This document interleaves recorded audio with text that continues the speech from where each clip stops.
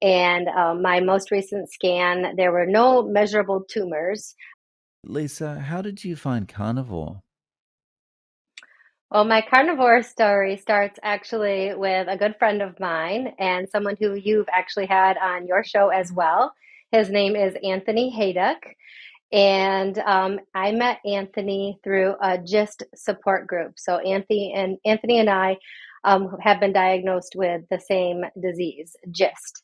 Um, so I am part of a Facebook group for GIST gisters, and I had been following Anthony for quite some time and following his journey and seeing that he had had some good success with some natural remedies.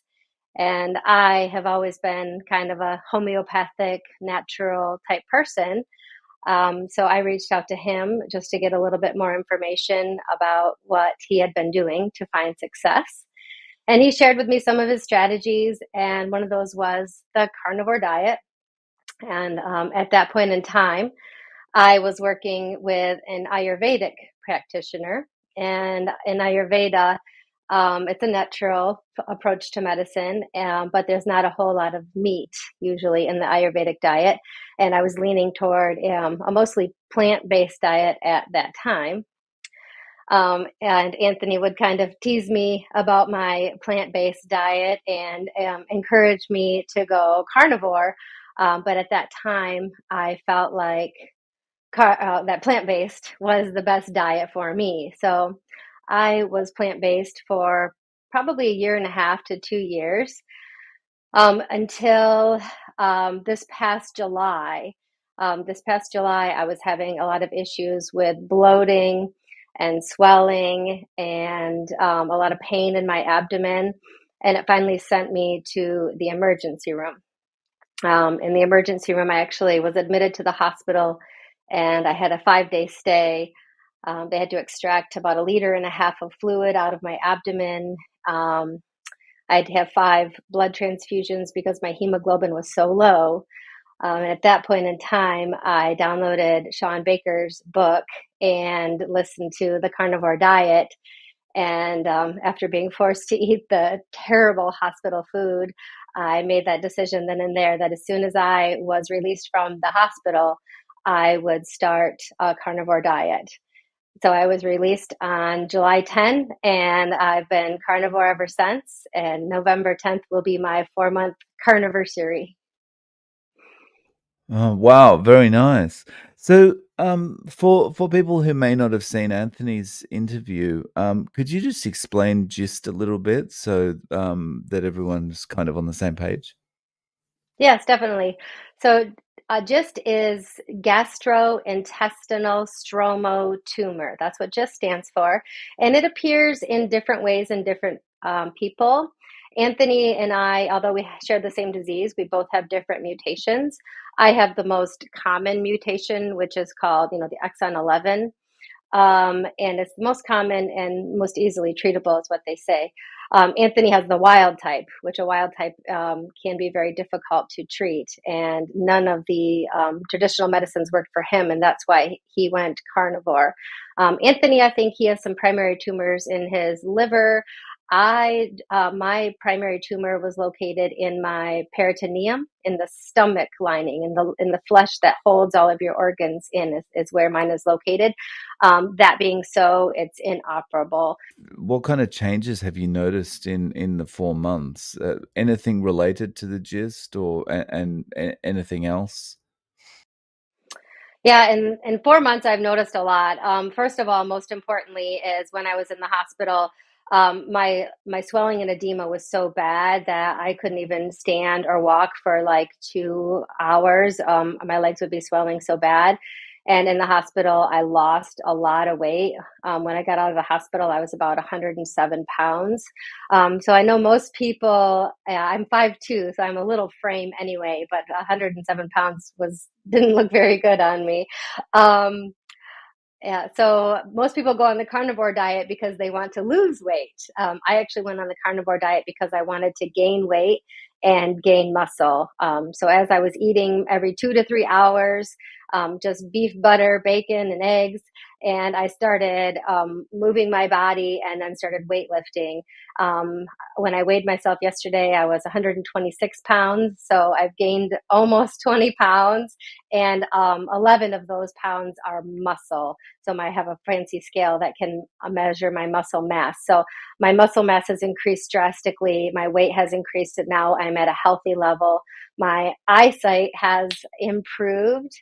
Um, uh, I think that's all I can think about right now. Um, and ha- have you spoken to any of your doctors about this, and have you had feedback from them?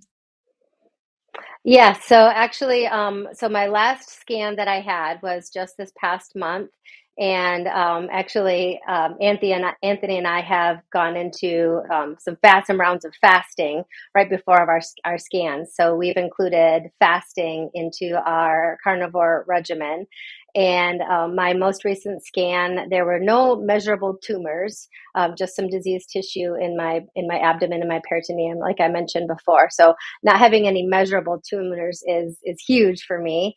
Um, and my doctor has been great. Um, she supports me in what I'm doing. Um, when I tell her that I was 72 hours fasted before my most recent scan, she just kind of shook her head and said, "Well, I could never do that." But I figure, you know when you're in a situation where it could be life or death, you just do what you have to do to make sure that you stay healthy.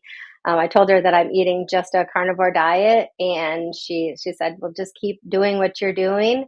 Um, I hadn't seen her personally since um, before I was in the hospital. I was in the hospital in in my hometown, in where my oncologist, her office is about three hours away. So she had only heard from the emergency room doctors about the state that I was in. And right when I walked in the door and she saw me, she said, Wow, I didn't expect you to look like this. You know, hearing what the doctor said, what bad shape you were in, um, how well and how quickly you have bounced back. So I was pretty excited about that. Wow. So just just to clarify, you mentioned your tumor was inoperable, but that the tumor has gone? As far as I know, yes. Um, the last couple scans that I've had, I've had a CT and an MRI, and they don't they don't indicate any measurable type tumor. Of course, my doctors won't say your tumor is gone, um, but when you read the MRI, um, when I was first diagnosed, my tumor was about 7.7 centimeters, and then it went down to 4.6, and then it went down to 2.2, and now at, when I, you read my scans, there is no measurable, uh, no measurable tumor at, at all in the scan. Wow, that's awesome! And and now you're you're regaining weight, you're building muscle. I mean, you must be feeling awesome. Yeah, I feel awesome. I'm working out four to five days a week. I take, you know, three to four mile walks a few times a week. Um, my pain is like a zero to a one. I have very little pain. Um, and of course, that's all you want in life, right? Is just to be able to feel good and to be pain free. Um, I get to go to work every day. I'm a second grade teacher and I love my job. So I am just so thrilled that this, this way that I'm living right now is giving me the opportunity to live life to its fullest. I just actually got back from the Bahamas. I went to a wedding um, with my sister and I got to explore the Bahamas. And it's just, I'm so grateful that I'm feeling so well to do so many wonderful things. At this stage, how day to day, how are you eating? Yeah. So um, day to day, I try to do um, some intermittent fasting. So I'm usually fasting 16 to 18 hours every single day. My first meal will usually be either noon or three o'clock. Um, I am taking a low dose chemotherapy pill right now. Um, against my doc, my doctor's knowing, I I'm taking it every other day. Um, I'm only taking it on my longer fasted days. Um, there is some research on the effectiveness of chemotherapy. It, it it's increased while you're fasted. Um, so I'm taking it every other day on my longer fasts and I'm also taking it every day on my 72 hour fasting rounds. Um, I've done two 72 hour fasting rounds so far, and I'm planning on doing those um, twice a month. Um, just depending, I need to work out a schedule depending on my cycle for women. Um, where they fast. Um, aligning with their hormones is very important. So I'm just kind of playing around with it now, but I plan on getting into a good schedule. So normally I break my fast uh, with bacon and eggs. That's really my favorite meal. Um, so in the morning I'll have, or at noon or three, whenever I break my fast, I'll have bacon or eggs. And then my next meal is usually some type of ground beef. Um, sometimes I will put a little bit of like taco seasoning on it or Greek yogurt, um, sometimes some grass fed cheddar. So I don't, I'm not super strict carnivore, um, but I am mainly I'm sticking to a carnivore diet. And um, and then dinner, um, I try to get as many varieties of meat into my body for dinner. My husband is not carnivore, so whatever we're having for dinner, I usually just make him a carb to go with. Um, but we'll have, you know, salmon. I love filet mignon. I know a lot of a lot of um, carnivores love their ribeye, um, but I'm a filet mignon girl, so I will eat a six or eight ounce filet. Um, I'll eat a lot of shrimp, and I've started adding a lot of organ meats. Actually, I have been since the get already. Um, adding organ meats into my diet. Um, I started off when I first started carnivore eating a lot of cow liver and bone marrow. And I've now introduced some chicken liver, some bovine heart, um, some oysters. Uh, I just try to get a variety of meats into my diet since they all have such a different um, nutrient profile in them. And then anything that I can't get from my local butcher, I will supplement. So I supplement with spleen and thyroid and some some other organ meats. What kind of reaction do you get at school when you're eating bacon and eggs for lunch? Do, do you t- do you actually take it with you? Of course, yeah, yep. Today, um, today I broke my fast um, after my kids already had eaten lunch, and um, we were just doing a writing assignment. So I was walking around with my um, Pyrex dish of uh, bacon. Actually, I had sausage today, sausage and eggs today. Um, my local store was out of the sugar-free, nitrate-free bacon, so I opted for the sausage this week. Um, but I was just walking around eating my um, sausage. Um, actually, one of my students a couple of weeks ago um, she mentioned that her dad is on a carnivore diet, that he has, I think, eczema really bad and nothing was working. So he started a carnivore diet and it was one of the only things that would relieve his eczema. So her and I, just as an eight year old, you know, her and I had a little chat about the carnivore diet and how healthy it is for your body and how nutritious it is. Um, it's kind of funny because my students from my previous year will come in and visit me and they know that last year I was eating salads, fruits, smoothies, organic juices, and I was not even touching meat. And then they come into my classroom now and they see me eating all of this meat.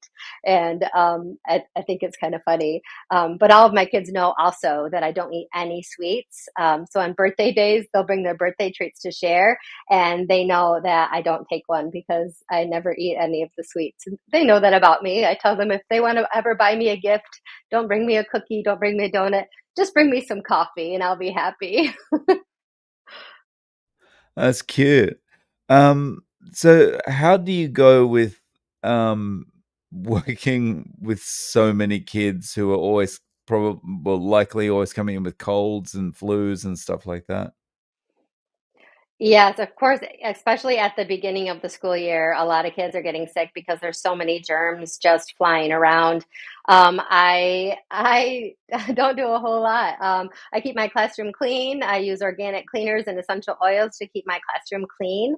Um, but I have a great immune system even though my doctors tell me that I'm immune compromised uh, because of my disease, I don't get sick. I don't even get the sniffles. Um, I stay really healthy. I'd like to borrow that because uh, I've caught something from my daughter in the last couple of days. So, yeah. Um, so, um, when you first decided, okay, well, I'm going to go carnivore, what was your husband's reaction? My husband knows that um, I will try anything for my health.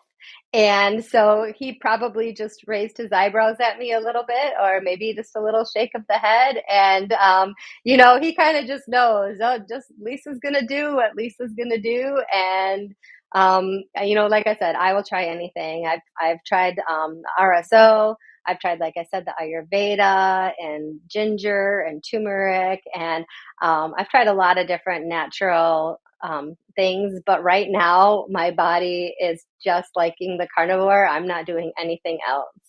It's it's so nice when you get to this point where it feels like your body just works the way it's meant to, or your body's just kind of everything's it, it's like it's now a well oiled machine. It's not like it's not like you're always struggling to get things right.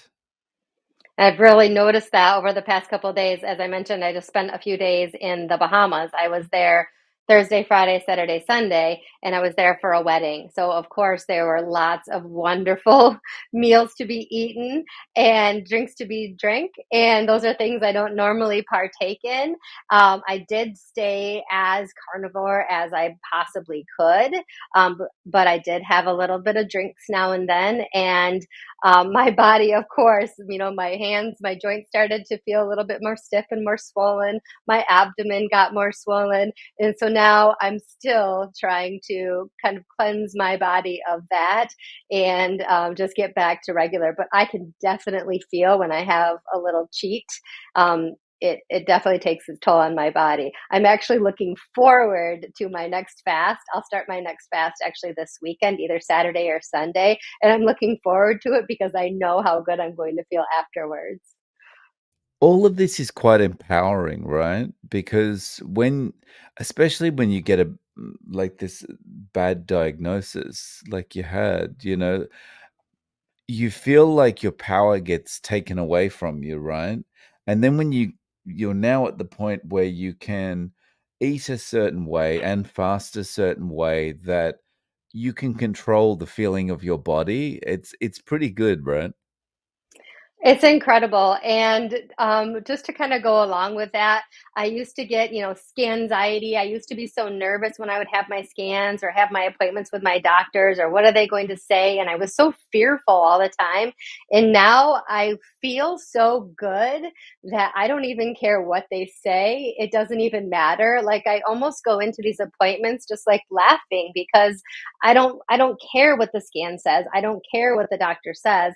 I know because of the way I feel that I'm on the right path and that's all that matters to me. The kids uh the kids have got used to it. The kids are okay with you um eating your your carnivore uh, during the day. Your husband's kind of just okay well do do whatever you need to do. What what about other friends around you yeah, definitely. I just wanted to re- mention the kids again really quickly, just because, of course, I mentioned the hospital food is just so terrible, and we know that that's a huge problem. Um, but of course, our school lunches are absolutely terrible, and um, so I, you know, try to just put my little two cents in now and then. And when we have the menu in front of us, we know what our choices are for that day. Usually, they have two or three choices. Um, I always give them a lot of compliments when they choose the protein choice. So I'll say, "Look, you chose this instead." Of, you know, the mozzarella sticks or, you know, whatever, whatever choice that they were given. If they're making a protein choice, I always recognize that and kind of give them props and let them know that they're going to feel so much better today when they choose the protein choice as if, you know, having the cereal for breakfast or things like that, the carbohydrate choice, it's going to make them feel slow and sluggish um, by the end of the day.